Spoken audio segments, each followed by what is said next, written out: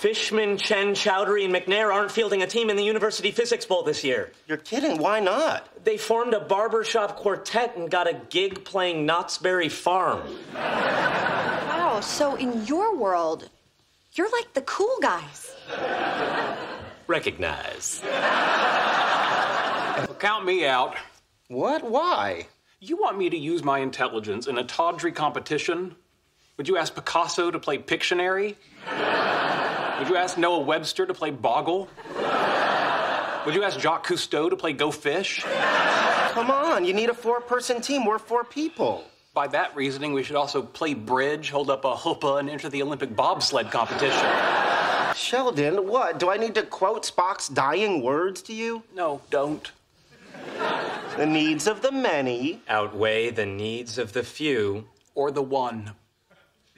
Damn it, I'll do it.